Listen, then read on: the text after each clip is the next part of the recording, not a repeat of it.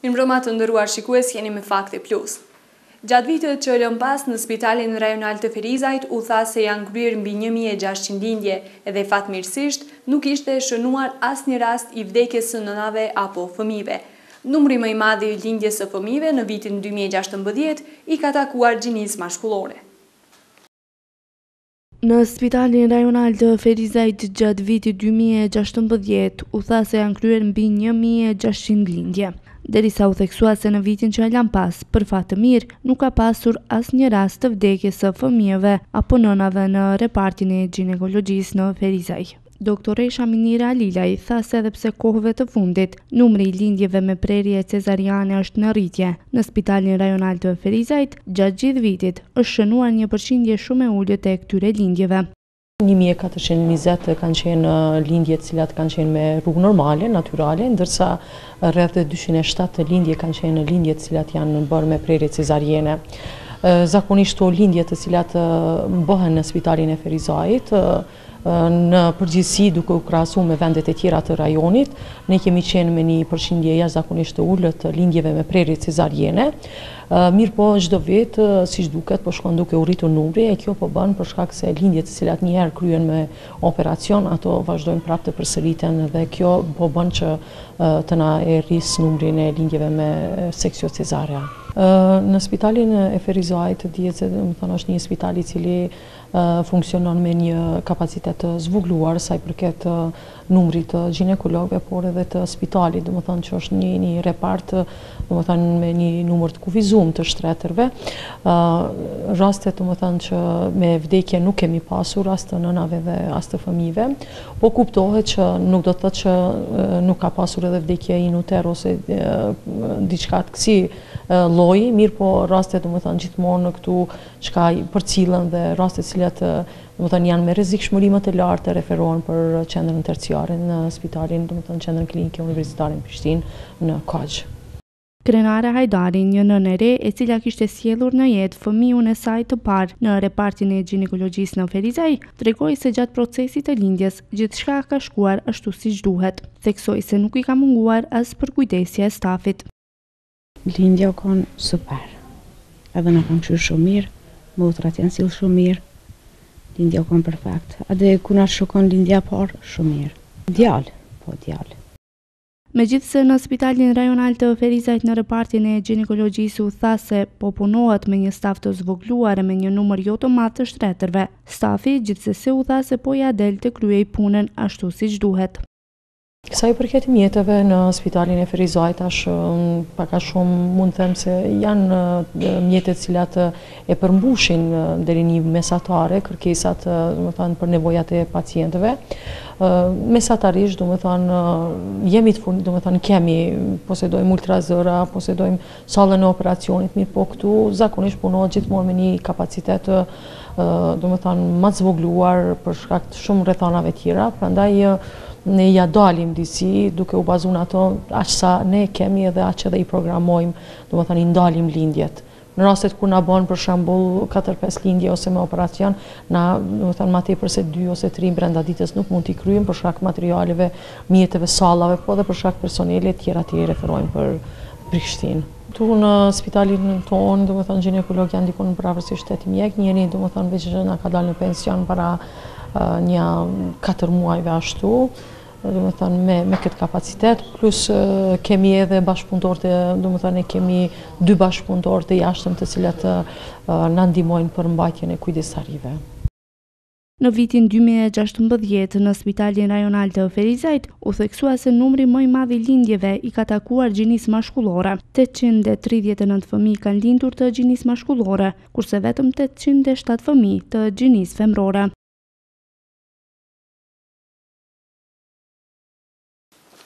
Ekspozita me fotografi e kaluara është tash që u hap në Ferizaj të mërkurën që shkoi, po tërheq vëmendjen e dashamirëve të fotografisë. Kjo ekspozitë e realizuar nga shtatëmbëdhjetë krijues artistikë edhe nga vendet evropiane, do të qëndrojë e hapur në Ferizaj deri më dhjetë shkurt. Ekspozita me fotografi artistike e Muzeut të Mynihut e kaluara është tash në kuadër të festivalit Fotodox, po vazhdon të jetë e hapur edhe në Galerinë e Arteve në Ferizaj. Përgjegjësi i Galerisë së Arteve Skënder Bedriu thotë se kjo ekspozitë fokusohet në kohën që nga rënia e Murit të Berlinit, respektivisht shpërbërja e ish-Jugosllavisë, e deri në ditët e sotme, shton se ekspozita nxit shikuesin të mendojë për historinë e re të Gjermanisë dhe për historinë e re të hapësirës kulturore të Ballkanit, si dhe për zhvillimet e tyre kundërthënëse. Këtu janë shtatëmbëdhjetë artistë të zhanrit të fotografisë dokumentare, por janë një numër i tyre të ekspozum, jo vetëm në sallën e galerisë, po është në tërë objektin, në sallën e dytë dhe nëpër korridore, në të gjitha është e shtrirë kjo ekspozitë. Këtu kryesisht janë zhanri dokumentar. Këto kanë përcjellë, do të, një farë forme, para dy mijë, dy mijë e pesëmbëdhjetë, kur ka fillu ky projekt, një numër i madh i artistëve e fotografëve janë vërshu nëpër vende të ndryshme, kanë fotografu dhe kanë përcjellë ngjarjet nga jeta e përditshme. Jo një farë forme me koncept, po e kam pa se si ato me kon në vështrimin e tyre. Dhe këtu parashihet edhe se ky festival veç e ka konceptin pe shembjes së Murit të Berlinit, i përcjell gjendjet ose vendet në tranzicion, në ndryshim. Dhe këtu shifet nëpër shumë foto ku për shembull një autor e ka komplet një zhanër dhe gjitha fotografitë e krijojnë një ngjarje të tillë. Po t'i shohmi veç e veç nuk mund ta kuptojmë konceptin por në tërsi këto gjitha e bojnë ni ni koncept po këto jan vetëm fotografi do të cilësojnë si fotografi po për mendimin tim jan multimediale se ki përmes kalendarë ki instalacion fotografi kemi video foto edhe anën tjetër kemi gazetat e pikturume do jan shum multidisiplinare, kisha thon. Në këtë ekspozitë nuk po mungojnë as vizitorët, ata po shprehen të interesuar për të parë fotografi të krijuesve nga hapësirat e ish-Jugosllavisë dhe të atyre nga vende të ndryshme evropiane. Në këto fotografi ka fotografi të zhanreve të ndryshme, shihen do piktura të mira, shihen do fotografi të mira që Ia vlen për një pikturë, shihen që nuk janë të një periudhe, janë periudha periudhave ndryshme, edhe është kënaqësi për një vizitor me ardhur me vizitu edhe me pa punën edhe të piktorëve, edhe na si vizitues pak me qenë të kënaqtë edhe me pa se çka kanë punu piktorët. Tani e du pikturën më flen n'zemër, edhe Pse mos të vijmë kur na jepet një mundësi si si vizitor, kur shohim diçka risi të reja diçka pse mos ta bëjmë edhe ato, jo vetëm unë po gjithë qytetarët e Ferizajt, ata që janë të interesuar edhe që e dojnë që e dojnë pikturën, që e dojnë artin, shkurt, fotografinë në përgjithësi. E kjo ngjarje kulturore veç të tjerash tërhoqi vëmendjen edhe të ambasadores së Gjermanisë në Kosovë, Angelika Viets, e cila edhe erdhi në hapje të ekspozitës të mërkurën që shkoi.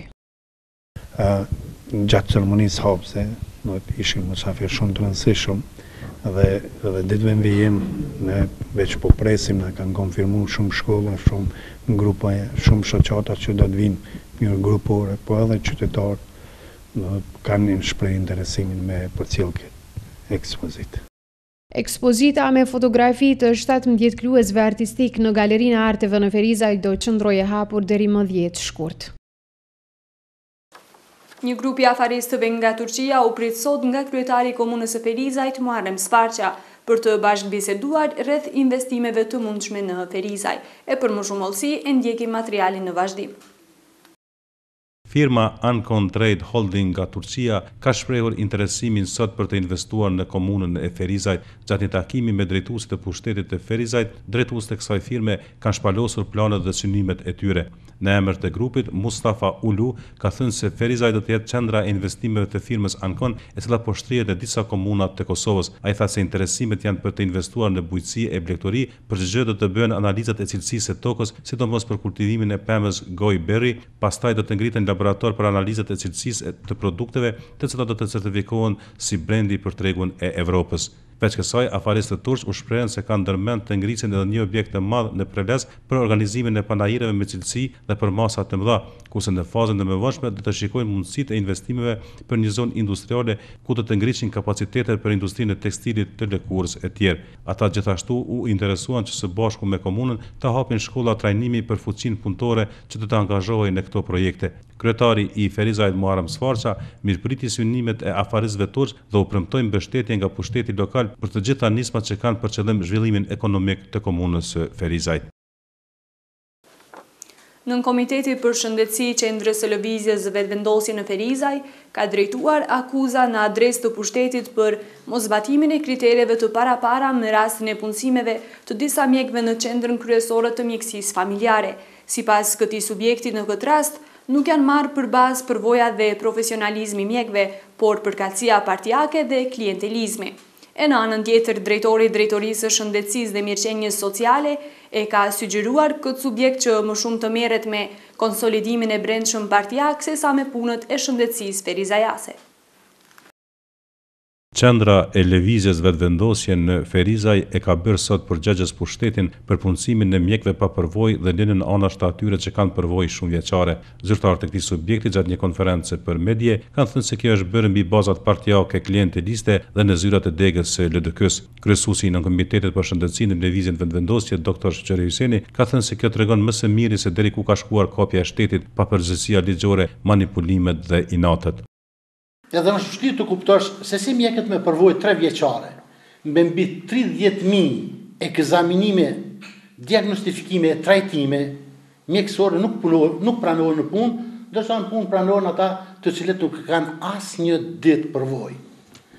Se në punë pranohen bashkëpartiakët dëshmojnë edhe e dhëna se në tubimin e punëtorëve shëndetësorë, në Shtëpinë e Bardhë, pra në selinë e subjektit të tij, do të thotë kryetarit Svarqa, me ftesë dhe urdhëresë se pjesëmarrja është e domosdoshme, me datë njëzet e pesë dhjetë dy mijë e gjashtëmbëdhjetë në ora katërmbëdhjetë e tridhjetë, ku zoti Svarqa deklaron se kush më ndihmon do t'i ndihmoj dhe kush nuk më ndihmon Nuk do ta lë të vdes, por nuk do t'i ndihmoj.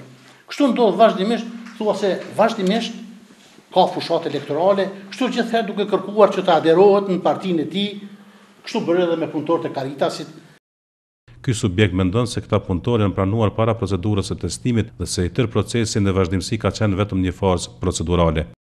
Edhe pranimi i një mjeku në përfundim të vitit të dytë të specializimit nga mjekësia familjare, që t'i mundësohet atij që të kthehet në familje në Angli dhe si mjek i specializuar.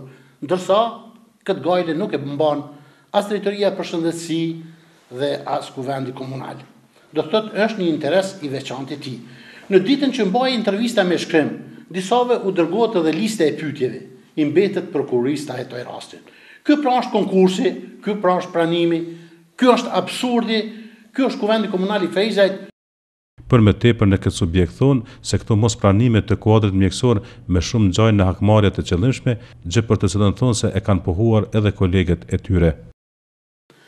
Të pretendosh për diçka të mirë, si i pari, është mrekullia vetë, por të bëhesh pjesë e një numri të njerëzve që në katër pesë dekada recidivojnë për të keq, është trishtim. Se këto mospranime janë hakmarrje, e pranojnë edhe e pohojnë të gjithë kolegët e tyre. Në ligjet shqiptare me decenie, ndoshta edhe me shekuj, është sanksionuar hakmarrja. veçanërisht ndaj fëmijëve dhe femrave, grave. Këtë e bëri zoti Svarqa me stafin e tij si recidivist pas katër ose pesë decenijeve kur një mësues në komunën e Prizrenit u hakmor ndaj nxënësve. Ndryshe, drejtori i Drejtorisë për Shëndetësi dhe Mirëqenie Sociale, Burim Karameta, nuk ka shprehur gatishmëri që publikisht të merret me këto akuza të Vetëvendosjes. Ai me këtë rast ka thënë se për Vetëvendosjen më mirë është të merret me konsolidimin e brendshëm partiak sesa me punët e shëndetësisë. ferizajase. Objekti i ri i Institutit Rajonal të Shëndetit Publik në Ferizaj pritet që të funksionalizohet gjatë këtij viti, është thënë sot gjatë një takimi që ka zhvilluar kryetari i Ferizajt Muharrem Svarqa me drejtuesit e Institutit Kombëtar të Shëndetit Publik.